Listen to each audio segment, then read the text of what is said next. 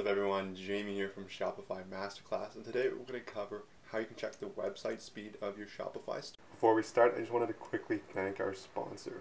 Discover Profit Calc, the affordable and easy to set up Shopify app that crunches your numbers in just one click.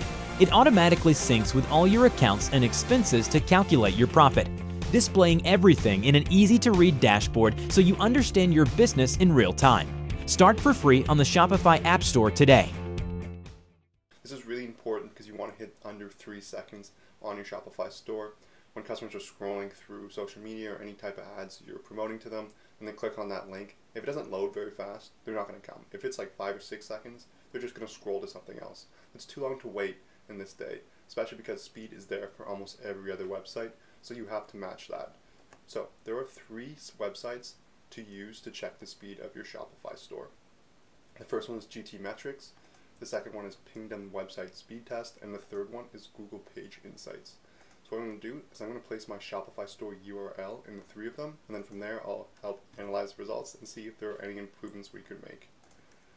Mind you, this is a pretty brand new Shopify store with no apps on it, so there can be very few metrics to optimize, but overall it's going to give you a general idea of how fast your store is. Right, everything's loaded now. So to start, let's go through GTmetrix have a page score of 81%, 94%. Overall, everything looks quite good here, so I don't think there's too much I can do.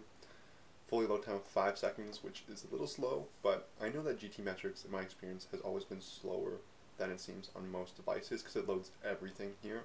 It's also loading from Vancouver, Canada, which depending on your location might not mean too much. The second one we have here is Pingdom. So Pingdom 2.25 seconds. What I usually do is I take a both of these GTmetrix and Pingdom and just divide each together and that gives me maybe three, three and a half, so a little slow, so there are some optimizations I could probably make. And page speed, page speed insights here is about 73 page score, so maybe there are things I want to go through. So this can eliminate some resources, some unused JavaScript, some text I could edit. There are issues too with this because Shopify does a lot of the things behind the scenes and even though Google might give you negative reviews here for certain things, there's almost nothing you can do about it. Plus, Shopify is optimizing for speed, so even though it's negative here, I wouldn't worry too much about it. I would look for more obvious things like image compression. Maybe there's some things or some apps on your store that are slowing things down. I would really look for those. And a great way to do that is to go down on Pingdom. You get the waterfall view here, and it's going to show you step by step how things load. So maybe down here, there's my hero image that is taking seems to be taking quite a bit of time to load. Maybe I could choose a different smaller size image, compress it a little bit. That might help speed things up as well.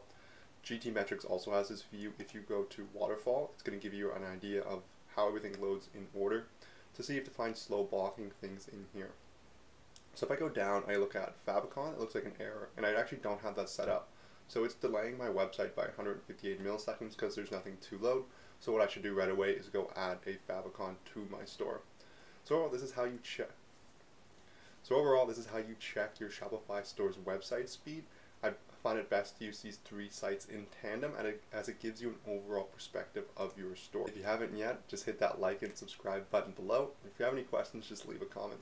Thank you.